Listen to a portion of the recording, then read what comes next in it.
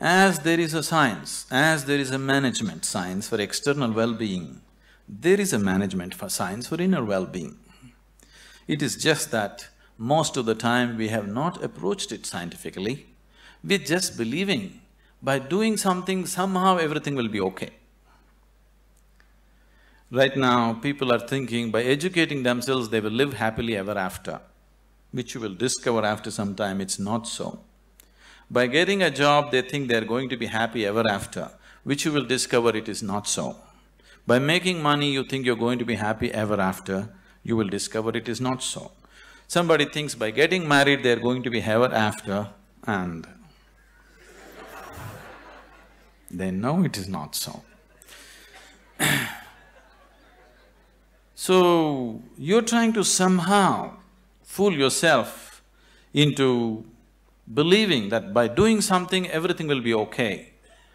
Though repeatedly it has let you down, still you believe that something else, some other miracle will make everything okay. It'll not be okay. It once happened, on a certain day, a bull and a pheasant were grazing on the field. You know a bull? A pheasant, a bird.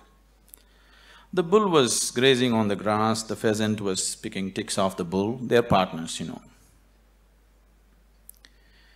Then the pheasant looked at a huge tree which was at the edge of the field and very nostalgically said, Alas, there was a time when I could fly to the topmost branch of the tree, but today I do not have the strength even to fly to the first branch of the tree. The bull very nonchalantly said, That's no problem. Eat a little bit of my dung every day. You will see within a fortnight's time you will reach the top of the tree. The pheasant said, Oh, come off it. How is that possible? The bull said, Really, please try and see. The whole humanity is on it. You could try too.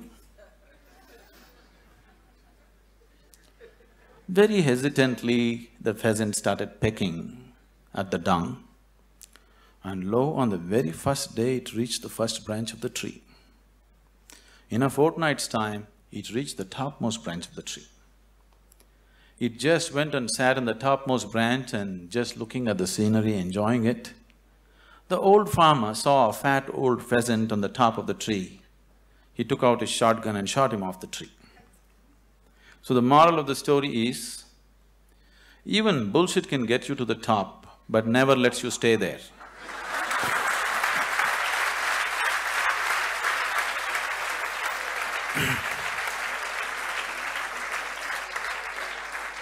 so, if you are seeking, if you are seeking a life of fulfillment, if you are seeking a life of joy and peace and well-being within yourself, don't try to bull yourself in some way. You must do the right thing, otherwise it won't work. Now that you're managers or to be managers, probably, definitely I hope they have taught you that unless you do the right thing, it doesn't work with outside.